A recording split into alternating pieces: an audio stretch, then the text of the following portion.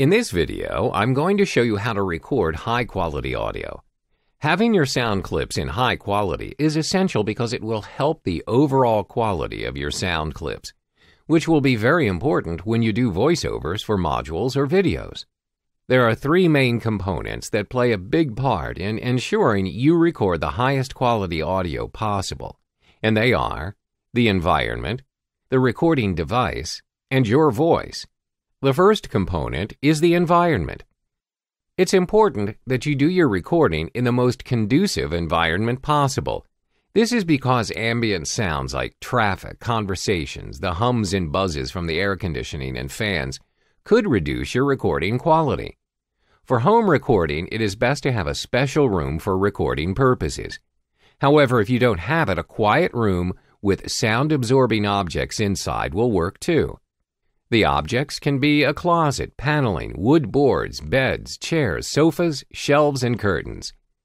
This is to reduce echo bouncing from the walls, floor, and ceiling, which can reduce the recording quality. You can also invest in making a special booth for recording. However, if you think that buying a ready made recording booth to be too expensive, there are lots of videos online that can teach you how to build your own recording booth at home. The second component is the recording device. This is the most obvious component. No recording can be done without a recording device like microphones or specialized sound recorders. As you may have known, to get high quality voice, you must go for the premium devices, which unfortunately are very expensive. Some microphones and recording devices may cost thousands of dollars. Don't fret, however, there are actually very affordable microphones that produce very high quality sound. One such example is the Blue Microphones Yeti. This is because it has studio quality sound recording, which is a big plus if you want high quality audio. It's also very affordable. You can get this online for lower than $150. The third is also the biggest advantage its plug and play properties. You just simply plug into any USB port on your computer, do some simple settings, and you're ready to record. The third component is the source of the sound itself, which is your voice. The main goal of voice recording is to produce crisp, clear sound recordings with a clear voice.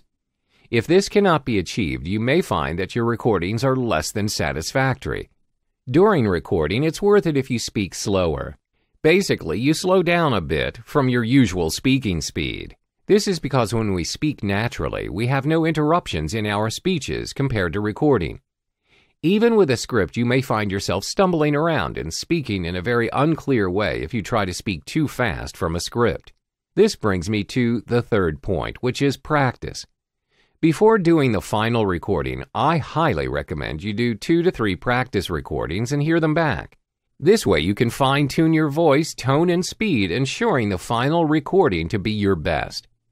The biggest thing that can help you here is a script, which will help you with your speech and ensure a smooth recording session. So there you have it. That was how you can improve your sound recording and produce high quality audio all the time, every time.